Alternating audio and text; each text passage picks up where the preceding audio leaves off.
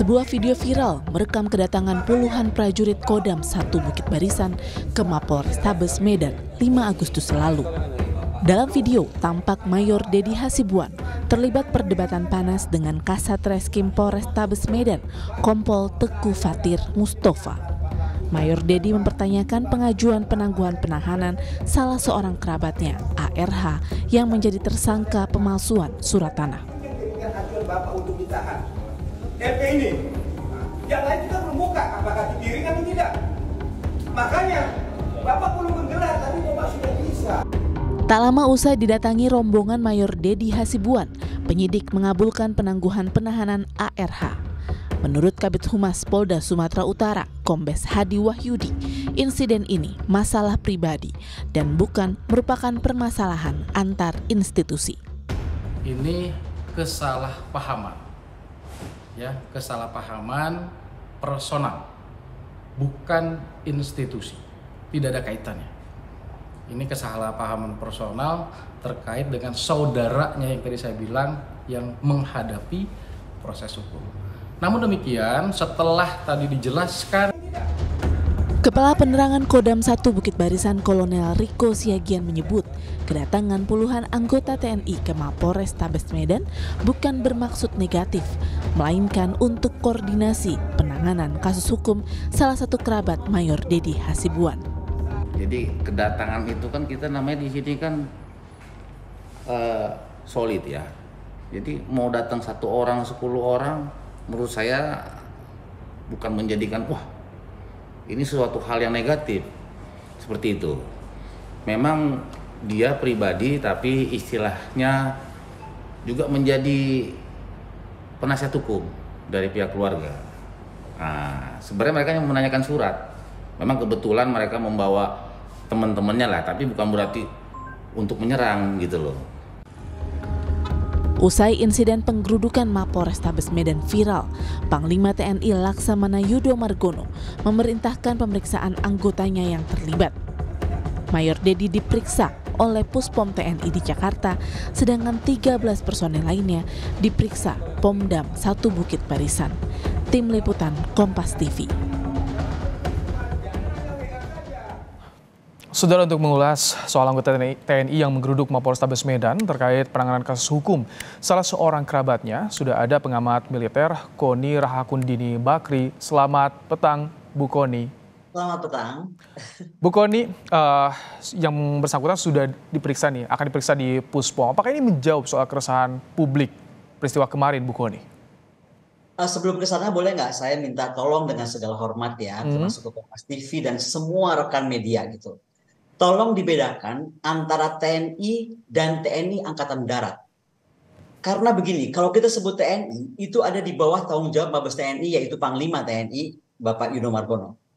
Tetapi kalau kita bilang itu di bawah TNI AD atau yang melakukan TNI AD, maka itu ada di bawah Kepala Staf Angkatan Darat. Hmm. Jadi beda nih. Nanti yang turun tangan itu akan beda, karena ada fungsi berbeda. Kita mesti paham dulu di masyarakat. Baik. Uh, Panglima itu pengguna kekuatan. Jadi pada saat negara memerlukan tentara, hanya panglima yang berhak uh, apa uh, deploy tentara. Tetapi pembinaan termasuk kasus ini kan ini harus dibina nih uh, anak-anak nakal atau oknum-oknum nakal Kodam Bukit Barisan ini. Itu penuhnya tanggung jawab Kasat dan Pangdam setempat. Jadi jangan digeser jadi jadi masalahnya Panglima TNI. Bahwa sekarang Panglima TNI memerintahkan uh, Kabinkum untuk uh, untuk segera memproses itu hanya bentuk perhatian beliau. Tetapi menurut saya ini kita harus paham betul ini bukan tugas beliau. Ini Baik. tugasnya kasih harusnya. Jadi kita harus menurut Pak Dudung mana sekarang muncul atau dipanggil Komisi Satu. Oke, itu dulu ya. Nah, menurut saya sikap Kapendam itu udah benar. Tapi tadi yang uh, yang menjelaskan bahwa seolah-olah hanya kebetulan datang ini itu nggak ada yang kebetulan lah. Kita mesti mesti data yang salah adalah salah, gitu kan? Jadi menurut saya uh, apa kalaupun ada kesalahan yang terjadi, baik Kasat ataupun Pangdam, ya kan, kalaupun tidak mau di bawahnya, itu berhak mengajukan komplain kepada pihak-pihak yang dianggap tidak uh, fair gitu.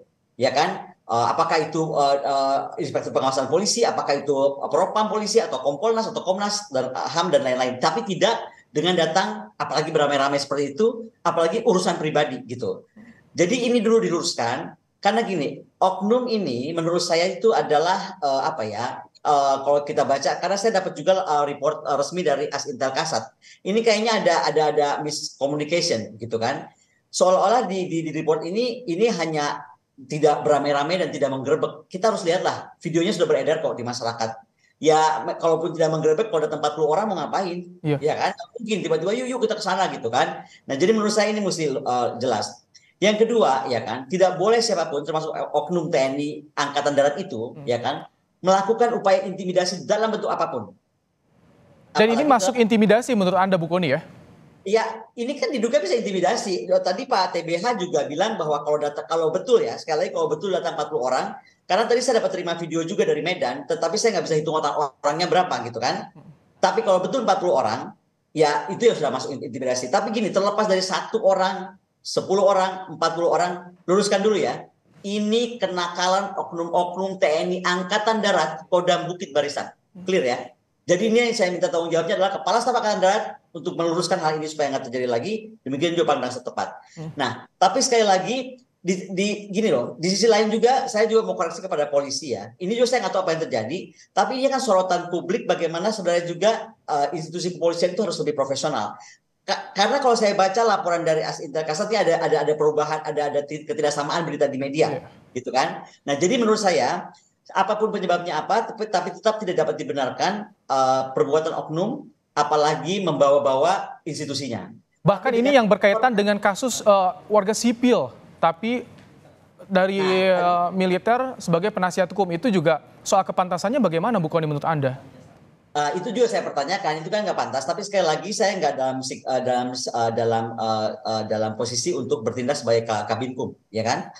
Saya bukan orang hukum. Tapi begini intinya ini ada kesalahan ya kan? Diduga sudah melakukan uh, diduga kuat lah ada intimidasi terjadi.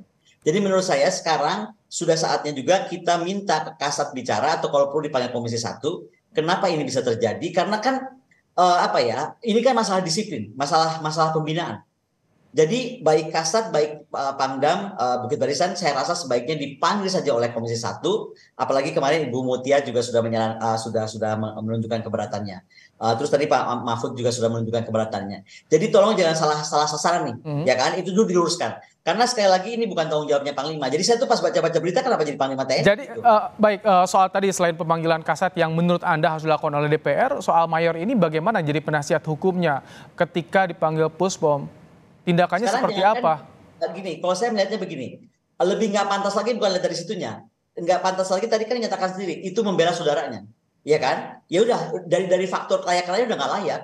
Jadi makanya saya bilang lebih baik dipanggil saja, diproses dan kemudian uh, diberikan uh, hukuman seberat-beratnya lah di apa karena ini kan sudah sudah sudah tidak akan udah nggak bener lah oh, dari oknum tersebut nggak boleh lah ada intimidasi intimidasi seperti ini ini akan membuat persepsi di masyarakat apalagi baru kaitan dengan Basarnas kemarin seolah-olah nanti TNI kebal hukum TNI nggak mau nggak mau apa uh, disentuh oleh hukum enggak ini adalah perbuatan oknum TNI Angkatan Darat yang jangan sampai berimbas kepada TNI secara keseluruhan. Makanya saya ulang-ulang terus kata-kata ini. Karena apa? Karena sekali lagi jangan sampai total TNI itu terkena. Ini hanya TNI Angkatan Darat. Hmm.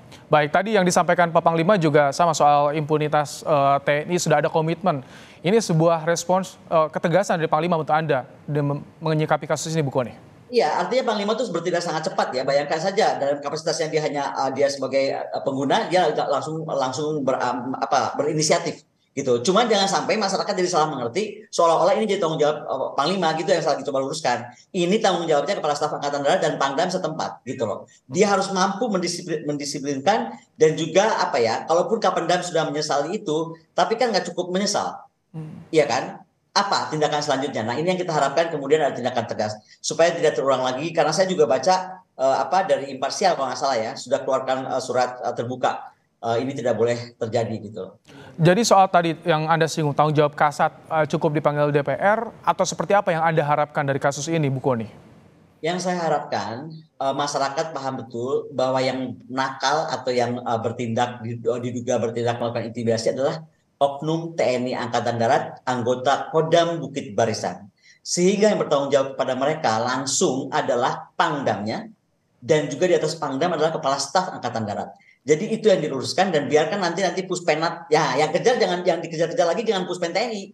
Tapi yang harus dikejar adalah puspenat nih sekarang. Kemudian juga eh, apa eh, jangan lari-lari ke panglima tapi ke kasat. Baik. Itu dulu yang harus kita kita sepakati. Terima Karena kasih. saya baca berita tuh jadi jadi jadi bingung ini kenapa jadi TNI TNI TNI lu ini bukan TNI TNI AD. Ta- Tapi sebatas atensi tadi yang disampaikan oleh Bu Koni soal pernyataan Panglima, kami ucapkan terima kasih eh, Bu Koni Rahakundini Bakri untuk pandangannya dalam kasus ini dalam program Kompas Petang sore ini. Terima kasih Bu Koni. Sorry.